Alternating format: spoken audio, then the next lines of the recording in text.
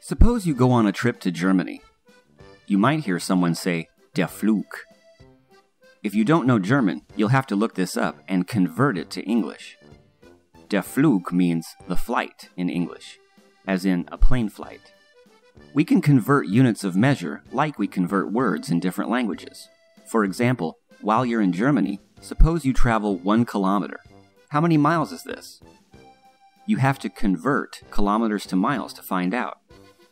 You look it up and find out that one kilometer is about 0.62 mile.